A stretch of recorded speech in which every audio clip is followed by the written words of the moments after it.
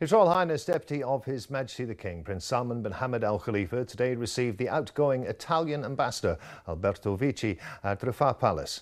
During the meeting, His Royal Highness praised the strength and depth of relations between Bahrain and Italy across a range of sectors and noted Italy's supportive role on regional issues and more broadly in strengthening international peace and security. His Royal Highness acknowledged the outgoing Italian ambassador's efforts and his contribution to furthering Bahraini-Italian ties. He noted the various bilateral visits which had significantly strengthened cooperation, especially in the economic, trade and investment fields. His Royal Highness expressed Bahrain's keenness to further enhance bilateral relations and expand cooperation across various sectors. During the meeting, His Royal Highness and the Ambassador also discussed issues relating to bilateral relations and cooperation and reviewed various regional and international issues. The Deputy King then wished the Ambassador success in his future tasks and duties. For his part, the outgoing Italian ambassador extended his thanks and appreciation for His Royal Highness's steadfast support in developing and strengthening ties between the two countries and wished the Kingdom of Bahrain and its citizens continued progress and prosperity. The personal representative of His Majesty the King for Charity Work and Youth Affairs, Chairman of the Board of Trustee of Royal Charity Organisation, His Highness Sheikh Nasser bin Hamad Al Khalifa, lauded the care and keenness of His Majesty the King for the orphans, including having their share of excellent education, care and services. This came during an event marking the 13th celebration of honouring graduates, which was organised by the Royal Charity Organisation. 450 students were honoured, representing different levels of the RCO education programme. His Highness Sheikh Nasser bin Hamad conveyed thanks and appreciation to His Majesty the King for his care and concern for Bahraini orphans, wishing His Majesty health and happiness. His Highness Sheikh Nasser congratulated the graduates and their parents for the accomplishments made, calling upon the orphans to continue their efforts and use knowledge as a means for building and developing the kingdom, moving the country towards further prosperity. He added that the country enjoys the wise leadership of His Majesty the King, the support of the government of His Royal Highness the Prime Minister, and the follow-up of His Royal Highness the Crown Prince, First Deputy Premier. His Highness Sheikh Nasser also lauded the cooperation extended by the Ministry of Education and other government educational bodies to the RCO, which contributed to providing the appropriate education environment for the students, which is in line with His Majesty the King's vision for supporting charity work and building a society that is based on solidarity. The personal representative of His Majesty the King for Charity Work and Youth Affairs, Chairman of the Supreme Council for Youth and Sports, Head of Bahrain Olympic Committee, His Highness Sheikh Nasser bin Hamad Al Khalifa, deputised the Minister of Youth and Sports Affairs, Mr Hisham Al Jada, to open the Sport City 2030 activities, which was organised by the Ministry of Youth and Sports Affairs in cooperation with its partner, Tamkeen.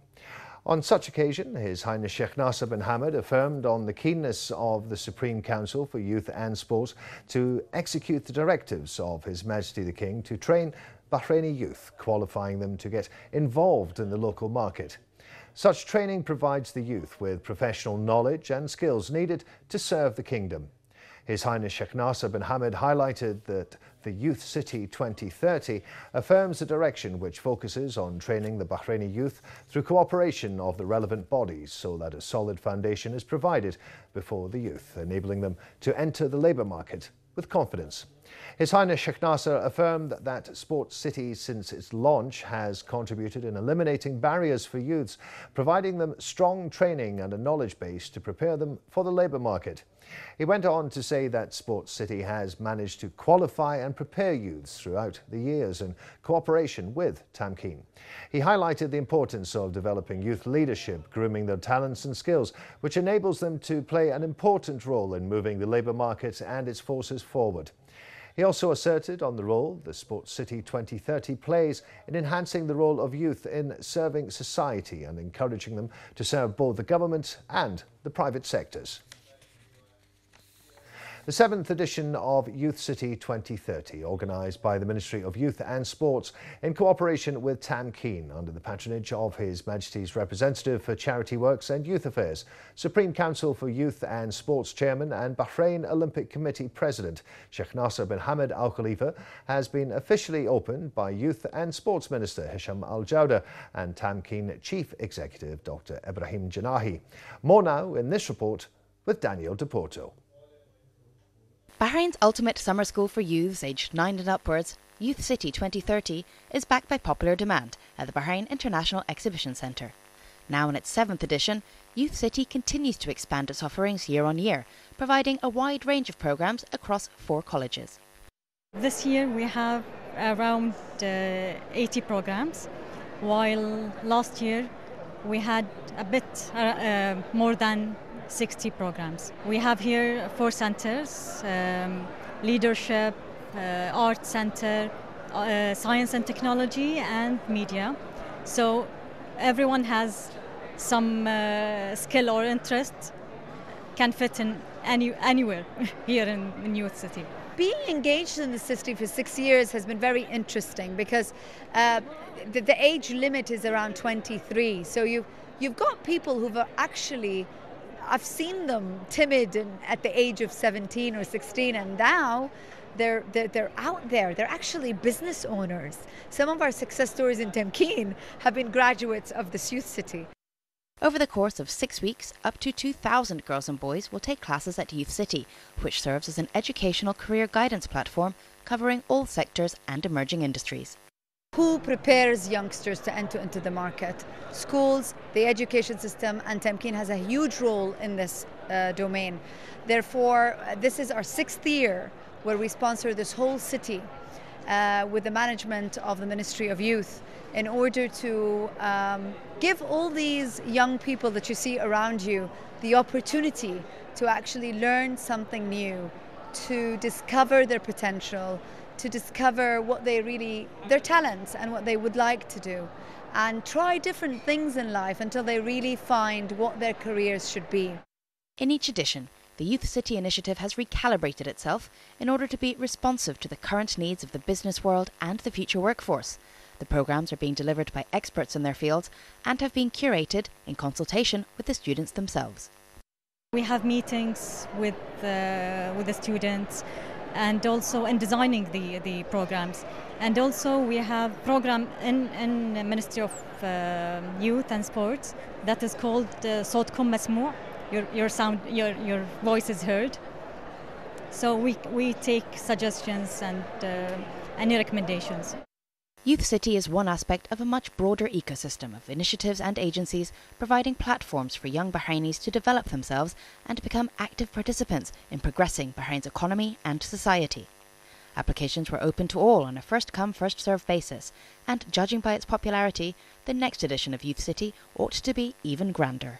My call for the youth is is is the opportunities are out there. You just have to look for them, take them, grab them, and we're here for you. A common ethos amongst the youth today is to love what you do and to do what you love. And Youth City provides the opportunity for these youngsters to really hone their skills and furthermore provides them with a very inspirational environment in which to do this. Reporting for Bahrain Television, I'm Danielle DePorto.